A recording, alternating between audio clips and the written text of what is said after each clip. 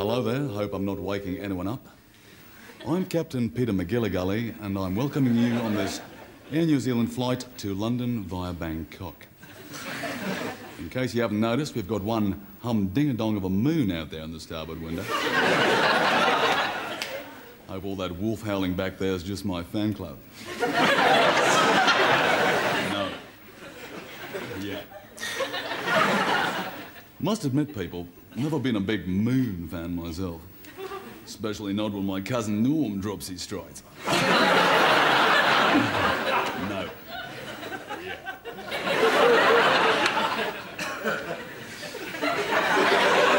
Always been much more of a sun baby. Not a bad tan at all this year.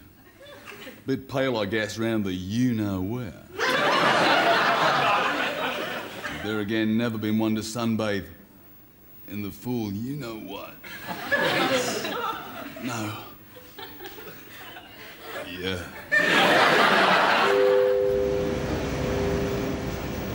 I wonder what it was that happened in that tragic pilot's childhood that made him need to violate the ears of every woman on this plane. He's only having a bit of a laugh. A bit of a laugh. The film The Accused, starring Jodie Foster, also began with an oh so amusing airline pilot having a bit of a laugh. no, it didn't.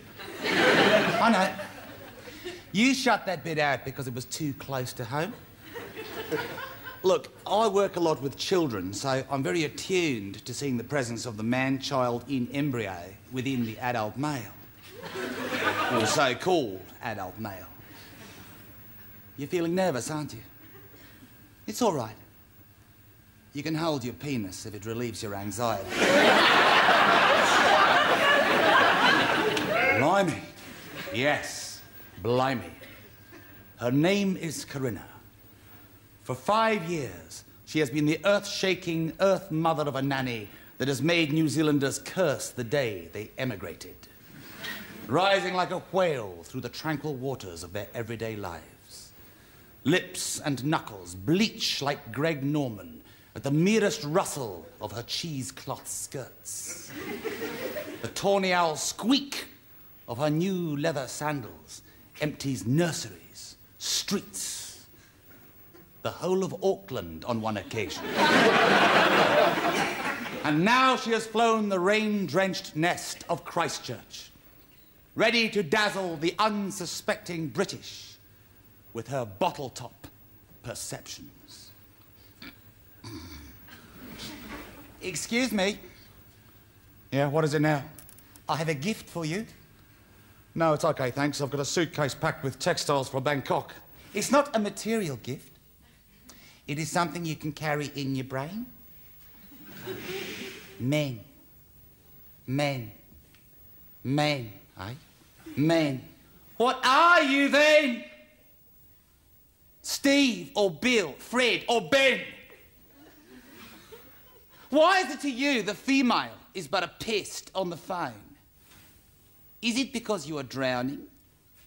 Drowning in testosterone?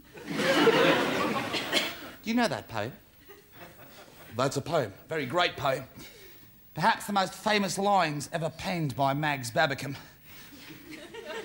Wonderful poetess from Whangarei. Dead now. You're quite sure about that? Hello there, Peter McGilligully again. Just thought you might like to know we'll be scootering along to the land of the glittering pagodas at about 35,000 feet. And if you'll give me a few moments, I'll give that to you in inches.